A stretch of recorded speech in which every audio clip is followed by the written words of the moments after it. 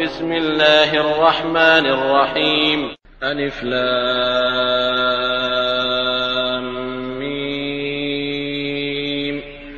شروع اللہ کے نام سے جو بڑا مہربان نہایت رحم والا ہے.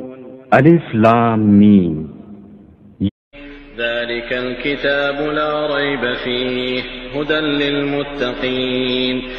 یہ کتاب قرآن مجید اس میں کچھ شک نہیں کہ کلام خدا ہے. خدا سے ڈرنے والوں کی رہنما ہے۔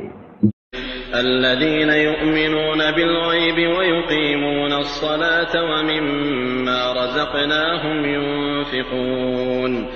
جو غیب پر ایمان لاتے اور آداب کے ساتھ نماز پڑھتے اور جو کچھ ہم نے ان کو عطا فرمایا ہے اس میں سے خرچ کرتے ہیں۔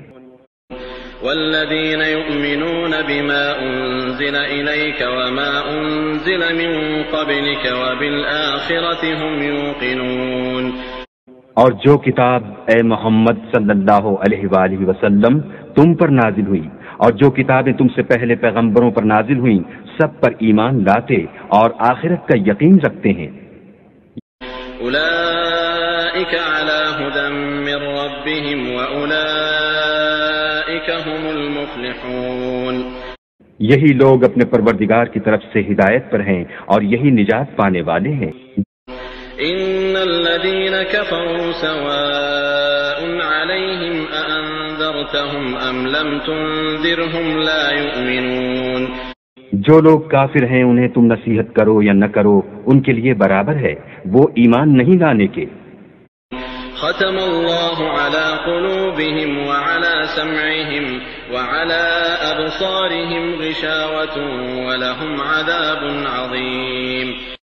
اللہ نے ان کے دلوں اور کانوں پر مہر لگا رکھی ہے اور ان کی آنکھوں پر پردہ پڑا ہوا ہے اور ان کے لیے بڑا عذاب تیار ہے۔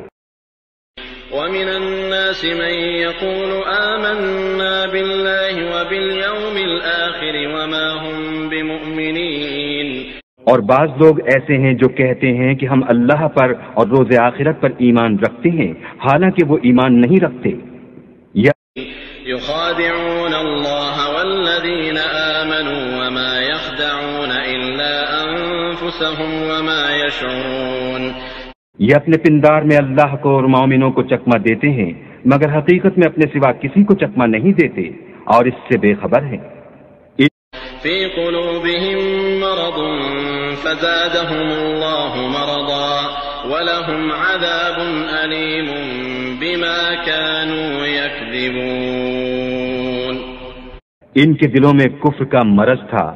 اللہ نے ان کا مرض اور زیادہ کر دیا اور ان کے جھوٹ بولنے کے سبب ان کو دکھ دینے والا عذاب ہوگا۔